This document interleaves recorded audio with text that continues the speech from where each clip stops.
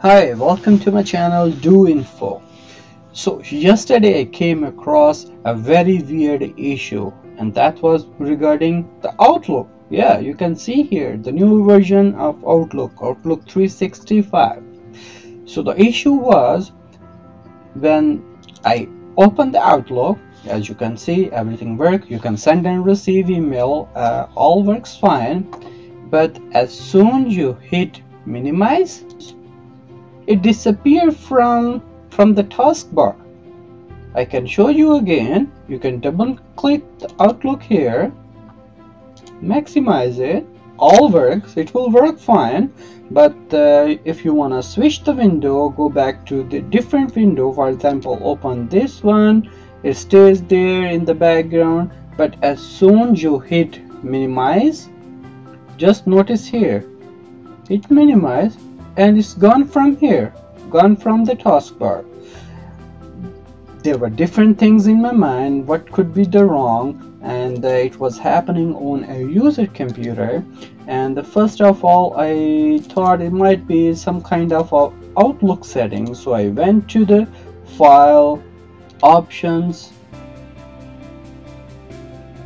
and uh, I tried to find everywhere. I was not able to find any setting that relates to disappearing when you minimize it.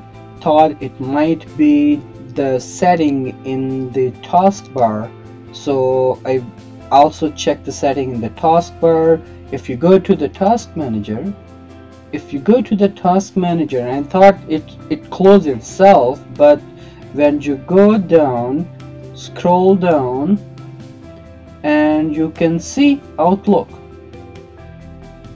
Running. So that means it's still running in the background but we cannot see. So the solution I found that was very tiny and really useful so I thought I could share it with you guys so it might be beneficial for you guys. So you can click here you can see the Outlook here. Microsoft Outlook is running here. The right click on the Outlook and you can see the option hide when minimized.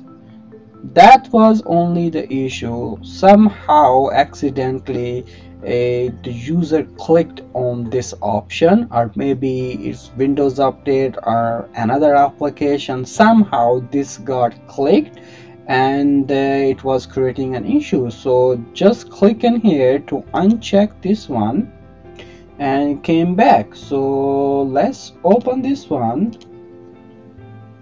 Minimize and still there. They are all my previous windows are still open here. So it was just disappearing. It was not closing itself. It was disappearing and going into tray. And uh, we just need to hide when minimize. So uncheck this one it will start working and work like a charm.